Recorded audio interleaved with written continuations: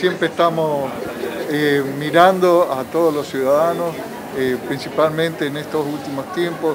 Eh, la salud es muy importante, tenemos que cuidarla y bueno, a través de la Secretaría de Salud estamos, estamos poniendo en funcionamiento este vacunatorio municipal en este espacio, donde es un servicio más que se brinda a todos los ciudadanos y que venimos trabajando en diferentes lugares de la ciudad, brindando diferentes tipos también de servicios a la salud para que todos puedan recibir esa atención que corresponde. A partir de hoy ya está habilitado, ¿no? Sí, a partir de hoy ya está habilitado, ya se estaban vacunando algunos funcionarios también, eh, así que cualquier eh, ciudadano que venga a hacer trámite en el municipio podrá acercarse al vacunatorio para en el horario que creo que va a estar de 7 a 13 habilitado y después seguramente podríamos extender más los horarios en función de, de la demanda eh, pero podía cualquiera venir a vacunarse. ¿Estará a cargo por parte de profesionales del mismo municipio? Sí, sí, sí, son todos profesionales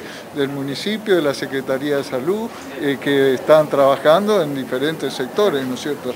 Son todos eh, profesionales los que están a cargo del tema.